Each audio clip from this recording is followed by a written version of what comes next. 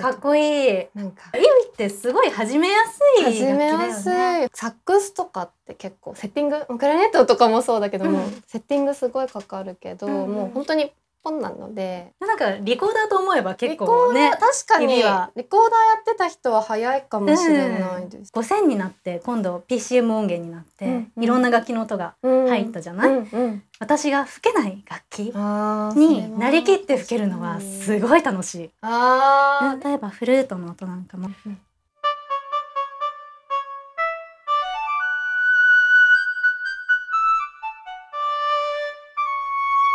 え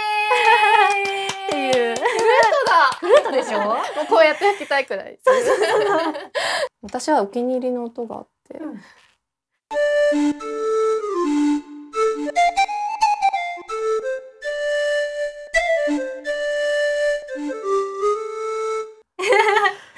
パンフルートという、うんうん。普段サックスでフルート持ち替えを実は。ちょこっとやってた時期があるんですけど、うんうんうん。フルートが難しすぎて、うん。じゃあいいじゃん。そうこっちで これでフルートの役目できるかなと思って、なんかいっぱいあるじゃないですか、うんうんうん。オクターブが。8オクターブね。8オクターブは。そう。で一番低いとことかでの上に上げていくと、なんかアルトっぽくなってきて、うん、やっぱり生楽器やってるとこれだけね8オクターブも音域があるってそうすごいことだよね。なかなかできないことだから、うん。ああのよく使うというかベンドとかグライドとか。あーこのウィーン。そうそうそう。ああのトロンボーンってすごくかっこいいなって憧れがあるんだけど、こういうあうわーんっていう動きね。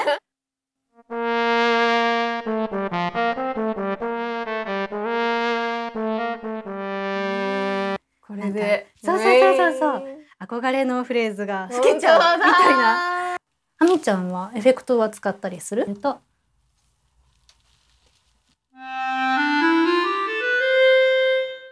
なんかあなんかホールで吹いてるみたい、うん。そうそうクラシックホールみたいな。気持ちいい、オクターバーはどういう時使うんですか、オクターブ例えばメロディーをん、強く出したい時とかに、あーそっか。オクターブです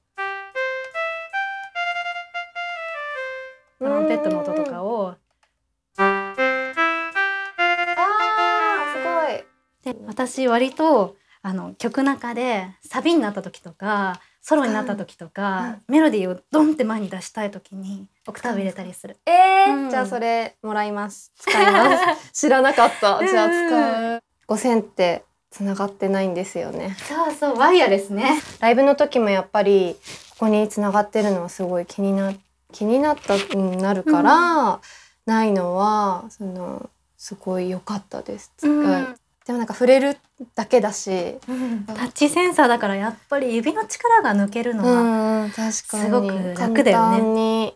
あとはもう息もふーってやるだけだから、女子的にはね。楽ですね。ね簡単に吹けるの。やっぱり生楽器が難しそうって思ってる人ってすごくいっぱいいてなかなかチャレンジできないっていうことが多いと思うんだけどこれだけ簡単にその楽器になりきって吹けることができるんだったら、すごくいいなって思う。うんうんうん。うん